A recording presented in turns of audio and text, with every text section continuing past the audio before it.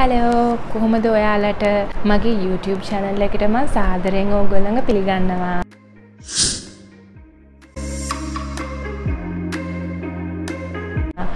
ඉතිං අදමං කියන්න යන්නේ ඕගොල දැන්ටමත් දන්නව ඇති මේ ස්ට්‍රෝබෙරි ලෙක්ස් එහෙම නැත්තං කකුලේ ඇතිවන කළුපාට ඩොඩ්ඩොට් ගතිය කොහොමද යවාගන්නේ ඒවට මොනාද තියෙන විසදුම් කියලා. ඉතින් අපි බලව මොනාද මේ ස්ට්‍රෝබෙරි ලෙක්ස් කියන්න කිය.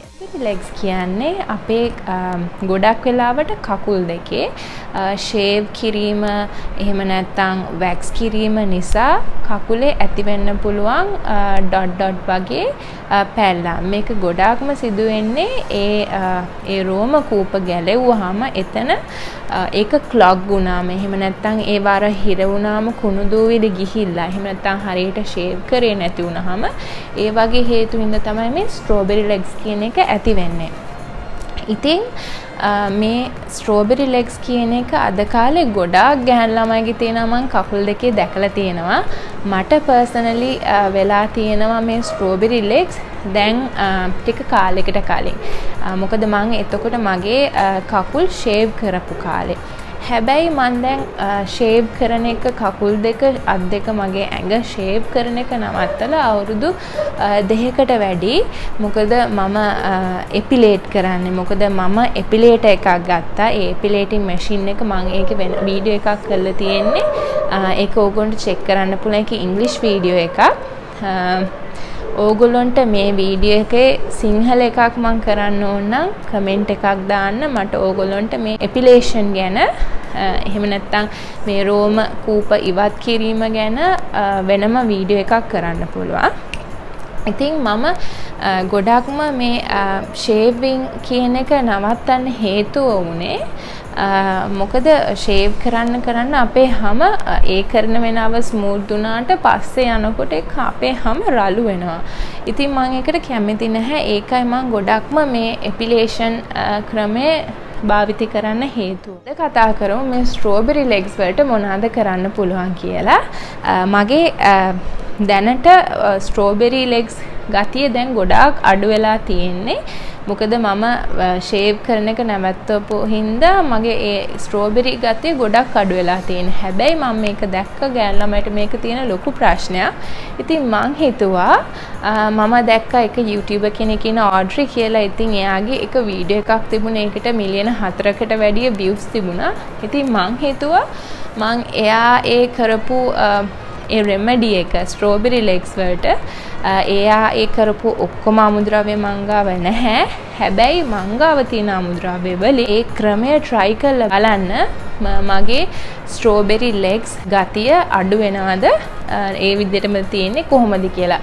මොකද එයා කියනවා එයා ඒ අනුගමනය කරපු ඒ ස්ටෙප් බයි ස්ටෙප් ඒ ඒව වලින් එයාගේ ස්ට්‍රෝබෙරි ලෙග්ස් ගතිය ගොඩාක් අඩු වුණා කියලා. ඉතින් මටත් ආස හිතුණා මේක try කරලා බලන්න. මොකද මගේ මගේ දැනටත් ස්ට්‍රෝබෙරි විදියට මගේ කකුල් දෙකේ ටිකක් තියෙනවා. ඉතින් මට මේ විදිහට try කරලා බලන්න ඕන මේක කොහොමද වෙන්නේ කියලා. ඉතින් මම අවුරුදු දෙකකට වැඩි කාලයක් මං ෂේව් කළා නෑ. ඉතින් මම මේ වීඩියෝ එක වෙනුවෙන්ම මම ෂේව් කරන්න තමයි යන්නේ. ඉතින් ඕගොන්ට බලා ගන්න පුළුවන් මේ කරන ක්‍රමය අනුව ස්ට්‍රෝබෙරි තියෙන පෙනුම අඩු වෙනවද නැද්ද කියලා. මතක ඇතුව ඕගොල්ලෝ පාවිච්චි කරන රේස එක මෙන්ස් එකක් වුණාට කමක් නැහැ, ලේඩීස් එකක් වුණාට කමක් නැහැ. ඒක ප්‍රශ්නයක් නැහැ. හැබැයි ඒක අලුත් එකක්. මම ප්‍රිෆර් කරන්නේ ලේඩීස් ඒවා මොකද අර ෆුඩ් සිටි එකේ තියෙනවා කොළපාට බිග් රේස එකක්. මං හිතන්නේ තල තුනක් තියෙන එක ඒක තමයි මං අන්තිමට පාවිච්චි කරේ. ඉතින් මං ඒකකින් තමයි ෂේව් කරන්න යන්නේ. මොකද ඒක මට හිතෙනවා අරක තරම් ජෙන්ස් එක තරම් හාෂ් නෑ කියලා. ඉතින් අපි බලමු මේ කරන ක්‍රමයට ස්ට්‍රෝබෙරි ලෙග්ස් ගතිය අඩු වෙනවද කොහොමද කියලා. ඉතින් මාත් එක්ක එකතු වෙලා ඉන්න අපි බලමු කොහොමද කරන්න කියලා. පළමුව අපි බොඩි වොෂ් එකකින් කකුල් දෙක හොඳට පිරිසිදු කරගන්න ඕන. ඕඩ්‍රි නම් කියන්නේ ඩබ් බොඩි වොෂ් කකුල් දෙක ක්ලෙන්ස් කරගත්තේ කියලා. හැබැයි මගේ නම් ආසම බොඩි වොෂ් එකක් තමයි මේ ජොන්සන්ස් බොඩි වොෂ් එක. ඒක තමයි මම ගොඩක් වෙලාවට පාවිච්චි කරන්නේ. මොකද ඒක ගොඩක් මයිල්ඩ්.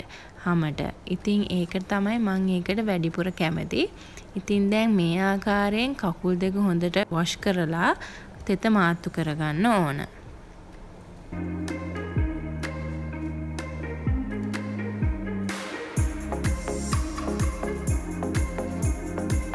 කකුල් දෙක තෙත මාත්තු කරාට පස්සේ එයානම් හොහෝබ ඔයිල් තමයි කකුලට ස්ප්‍රේ කරේ. ඉතින් මංගාව ඒක නෑ. මංගාව අපේ ස්පාසිලෝන් එකේ ඔයිල් එකක් තිබුණා. ඉතින් මං ඒක දාලා කකුල් දෙක හොඳට මසාජ් කරන්න ඕන. එතකොට අපි අර ක්ලෙන්ස් කරලා ඉවර හින්දා කකුලට හොඳ මොයිස්චර් එකක් ගෙනත් දෙනවා. පේනව නේද ඕගොල්ලොන්ට ඒක?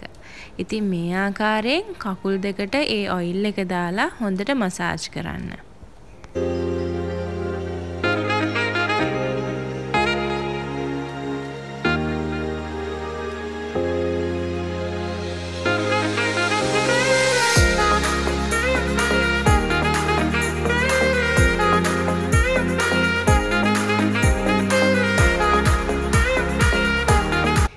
විදියට මසාජ් කරන්න ඕන පුළුවන් නම් පැය භාගයක් විතර. ඉතින් අපිට වෙලා නෑනේ. ඉතින් මම නම් මේ වගේ විනාඩි 10ක් තමයි මසාජ් කරේ. ඊට පස්සේ අර බොඩි වොෂ් එකෙන් ආයෙ කකුල පිරිසිදු කරගන්න ඕන. කකුල් දෙක පිරිසිදු කරාම අපි ස්ක්‍රබ් කරගන්න ඕන. මම නම් මේ කැල්ගන් එකේ මිනරල් ස්ක්‍රබ් එක තමයි පාවිච්චි කරන්නේ. ඒක මං ආසම ස්ක්‍රබ් එකක්. ඉතින් ඕගොල්ලන්ට පුළුවන් ෂුගර් ස්ක්‍රබ් එකක් වුණත් කකුල්ට කරන්න. ඒකට ඕගොල්ලොන් ගාව සීනි වලට මී පැණි දාලා ඕගොල්ලොන්ට කකුල් දෙක ස්ක්‍රබ් කරන්න පුළුවන්. එහෙම නැත්තම් මේ වගේ ස්ක්‍රබ් එකක් හොඳ බොඩි ස්ක්‍රබ් එකකින් කකුල් දෙක හොඳට ස්ක්‍රබ් කරන්න ඕන.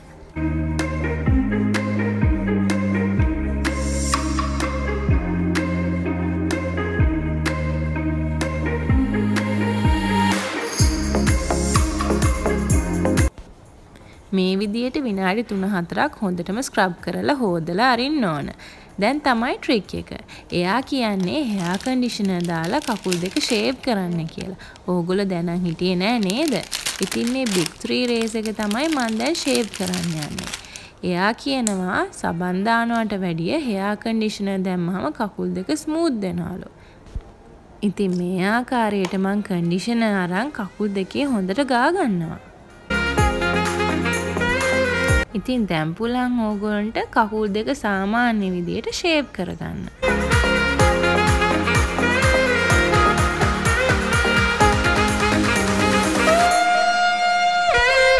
ඉතින් මේ විදිහට ෂේප් කරලා ඉවර වෙලා ඔයගොල්ලන්ට පුළුවන් කකුල් දෙක සෝදලා මේ විදිහට තෙත මාත්තු කරන්න.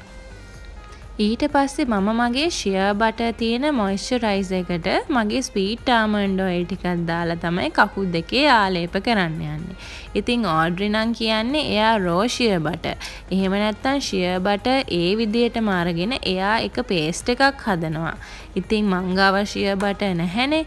හැබැයි මංගාව මේ ෂියර් බටර් තියෙන මොයිස්චරයිසර් එක තිබුණා.